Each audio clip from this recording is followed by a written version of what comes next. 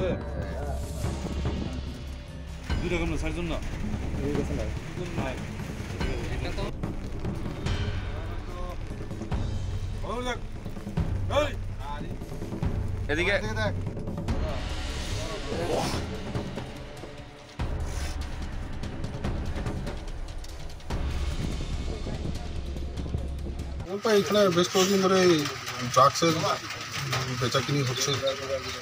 তো আমরা এই- এইগুলোকে সি- আমাদের সোর্স থেকে খবর পাই। এবং আমরা যখন রেড করি, আমরা চারজনকে আটক করি। এবং বেশ কিছু নেশা সামগ্রী পাওয়া গেছে। এখন আমরা একটা স্পেসিফিক কেস নেব। কেস তদন্ত করছি। হ্যাঁ অ্যারেস্ট করা হবে। ওখানে অ্যারেস্ট করছি। অ্যারেস্ট করে নিচ্ছি। বাজার মূল্যটা একটু হিসেবে অ্যারাউন্ড চল্লিশ হাজার টাকা তার সাথে স্যার কোনো মোবাইল বা বাইক উদ্ধার হ্যাঁ, করেছে মোবাইল আছে আমাদের মোবাইল পাওয়া আর গেছে স্যার বাইক কোনো স্যার উদ্ধার দুটো বাইক আছে